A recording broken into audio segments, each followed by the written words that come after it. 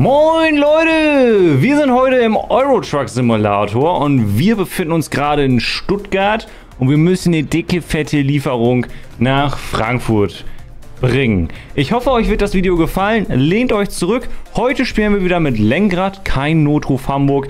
Ich hoffe, es ist okay für euch, dass wir auch mal was anderes spielen. Chat, seid ihr dabei? Let's go! Wir haben grün und ich versuche mich heute wirklich gut an die Straßenverkehrsordnung zu halten. Ihr seht, das hat jetzt gerade schon wieder nicht geklappt mit dem Abbiegen. Aber okay. Blinken werde ich leider nicht können, denn jedes Mal, wenn ich Blinken auf meinem Lenkrad hier drücke, schaltet er auch. Das heißt, ich kann nicht blinken. Ansonsten versuche ich schon an die STVO zu halten. Wir haben grün, wir dürfen links abbiegen. Ich kann natürlich jetzt nicht blinken. Wir fahren erstmal äh, auf die Autobahn und geben das Ganze dann später in Frankfurt ab.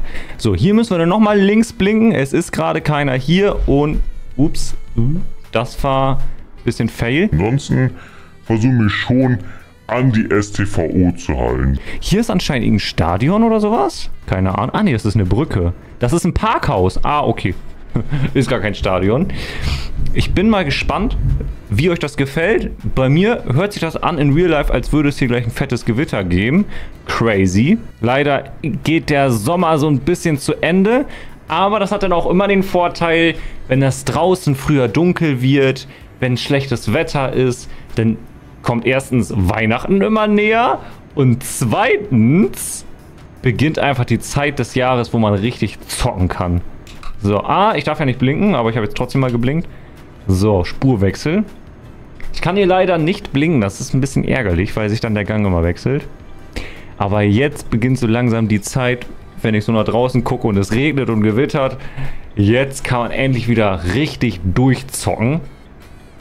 Das läuft. So, ist er immer noch am Blinken? Ach, der ist immer noch am Blinken. So, egal. Wir fahren nach Frankfurt und ich zeige euch mal die unterschiedlichen Kameraperspektiven. Das hier wäre auch eine. Wow, so kann ich das gar nicht richtig kontrollieren.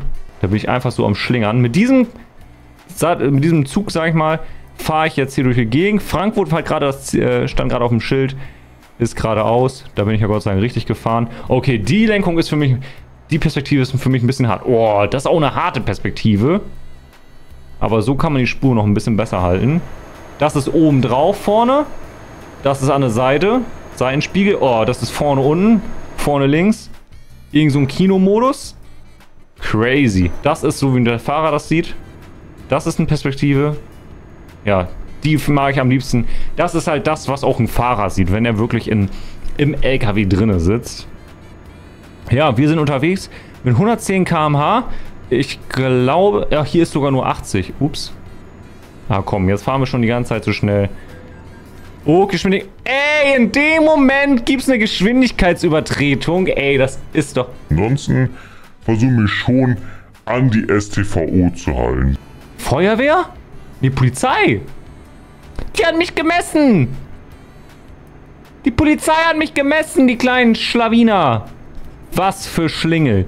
Ey, ich rede darüber, dass ich zu schnell fahre und in dem Moment werde ich frittiert.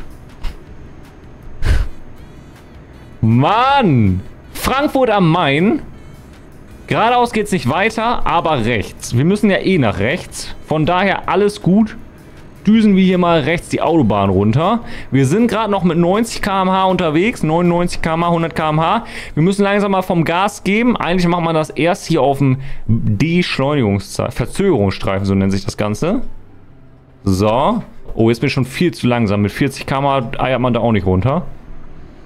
Aber ich muss erstmal in das Spiel reinkommen. Chat. Was haltet ihr von solchen Simulatoren? Ich feiere es ja in Notruf Hamburg mit dem LKW unterwegs zu sein. Leider gibt es da nicht diese Innenperspektive. Ich glaube, dann würde es viel mehr Leute geben, die tatsächlich auch den LKW-Job machen. Genauso wie den Busjob weil es halt diese Innenperspektive fehlt. Das Gute ist, hier in diesem Spiel haben wir diese Innenperspektive und können daher richtig schön mit dem Lenkrad fahren. Hier rechts auf dem Schild steht Frankfurt am Main, 134 Kilometer. Ja, das ist ja noch eine Strecke. Da haben wir ja noch ein bisschen was zusammen vor. Wir fahren hier auf jeden Fall durch die Gegend und ich muss ehrlich gesagt sagen, so jetzt gerade Ich glaube, ich finde diese Grafik ein bisschen besser als die Grafik vom Fernbus-Simulator.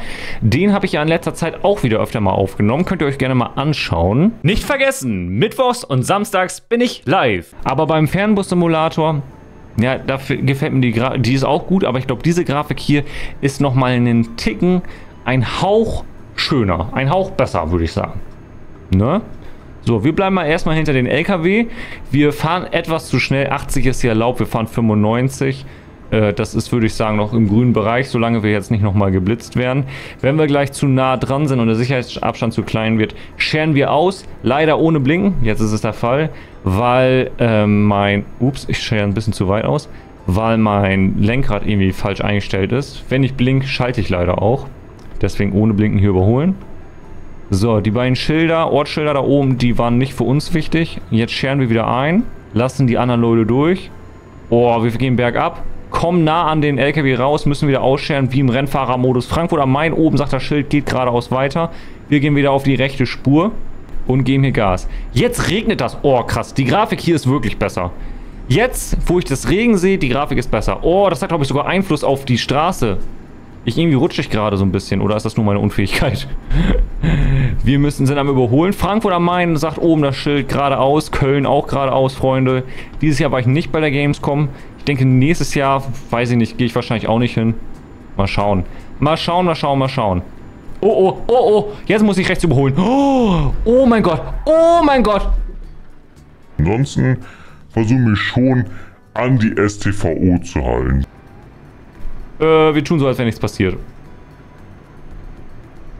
Digga, da habe ich kurz nicht aufgepasst. Ich war auf einmal viel zu schnell und hatte keine Chance mehr auf die linke Spur zu gehen, weil ich zu weit rechts war.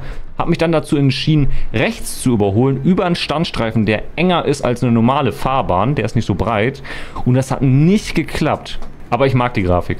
Ich würde jetzt aber gerne wissen, wie man den Scheibenwischer anstellen kann. An einem normalen Auto sind das hier rechts und links so Hebel. Ich drück einfach mal mit meiner Taste. Äh, ups.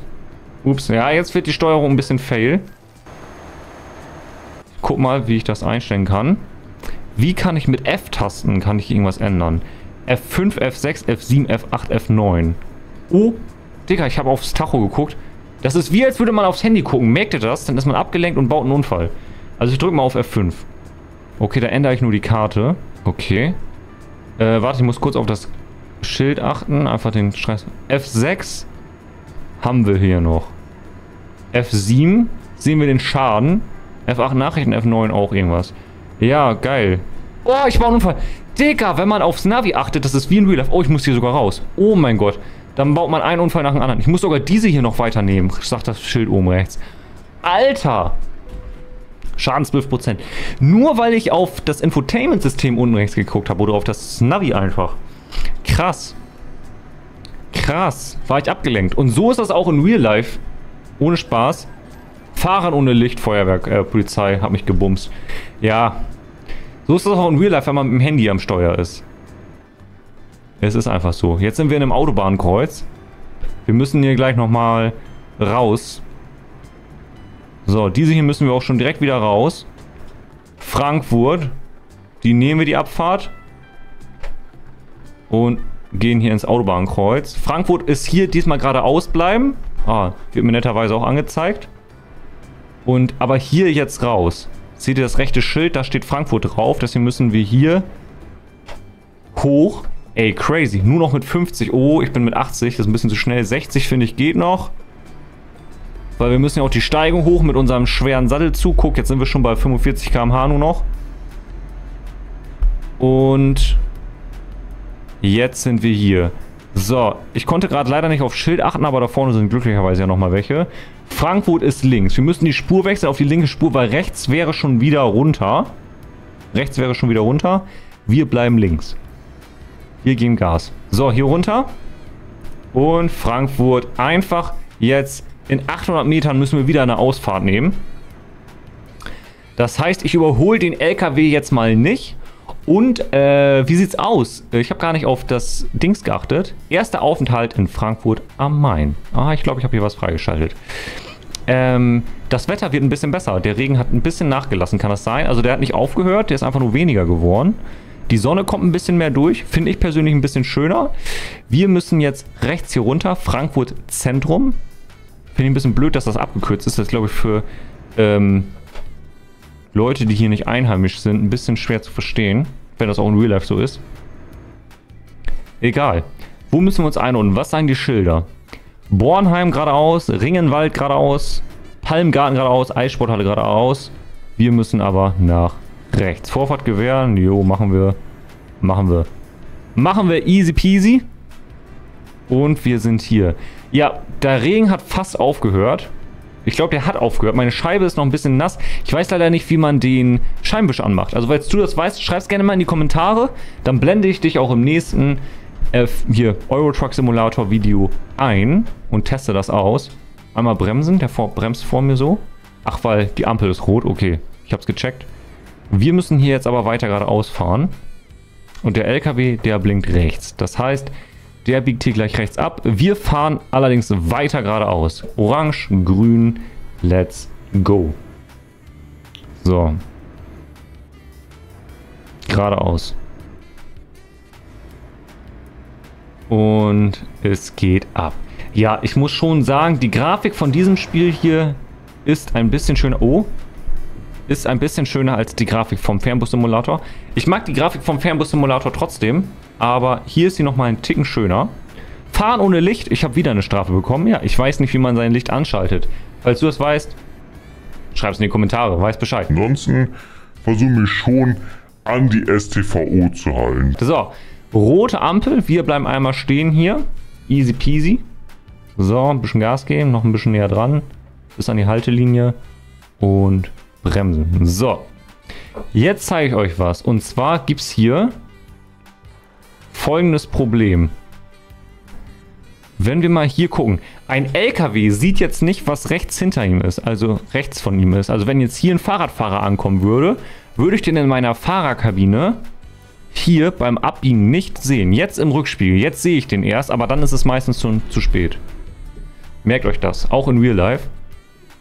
So, wir müssen jetzt hier rechts, bremsen, äh, rechts blicken. Das heißt, fahrt nie, versucht es immer zu vermeiden, rechts mit dem Fahrrad hinter einem LKW zu fahren. Oder auch links. Oh nein, ich habe mich verfahren, glaube ich. Warte, ich fahre erstmal hier hin. Ganz langsam. Hier ist eine Schranke. Muss ich hier vielleicht durch? Das sieht mir da hinten aus wie ein Lager. Mal kurz hier andocken. Ja, die Schranke geht hoch.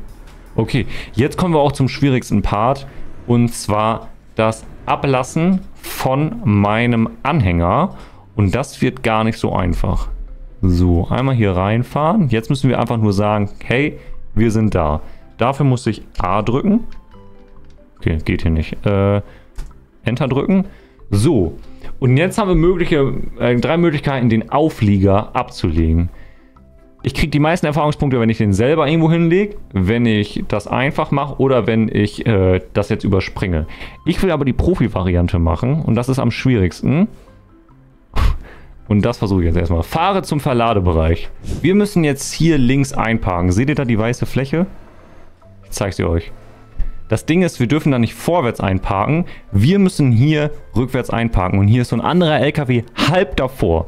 Das macht die ganze Sache noch schwieriger. Aber ich bin ja ein Profi. Das sollte ja kein Ding sein. Also, einmal hier so ein bisschen so hinstellen. Zack, alles gerade ziehen. Und jetzt müsste ich theoretisch erstmal rückwärts fahren.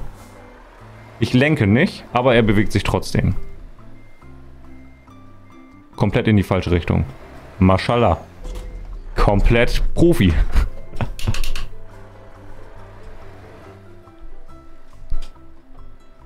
Also neuer Versuch.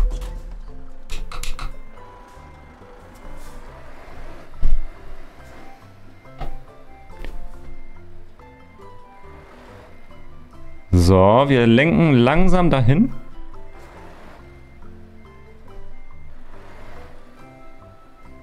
Langsam dahin lenken. Und... So sieht das ja ein LKW-Fahrer in Real Life gar nicht. Aber ich krieg das schon nicht hin mit dem, in welche Richtung muss ich lenken. Ich bin stolz auf mich, wenn das jetzt klappt. Oh, es klappt nicht. Es klappt natürlich nicht! Oh, oh. Kann ich den doch noch wieder gerade ziehen? Nee, kann ich natürlich nicht. Oh Mann, ich hatte, ich hatte schon gedacht, oh geil, jetzt läuft's. Und versuchen so gut es geht rückwärts zu fahren.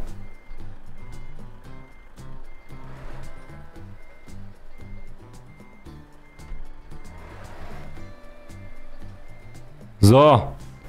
Das Spiel sagt, wir sind drin. Das heißt, wir sind drin. Ich drücke Enter und wir haben es geschafft. Wenn euch das Video gefallen hat, lasst ein Like und ein Abo da. Schaut euch das Video auf der rechten Seite an. Aktiviert die Glocke, um keine coolen Videos mehr zu verpassen. Bis dann und ciao.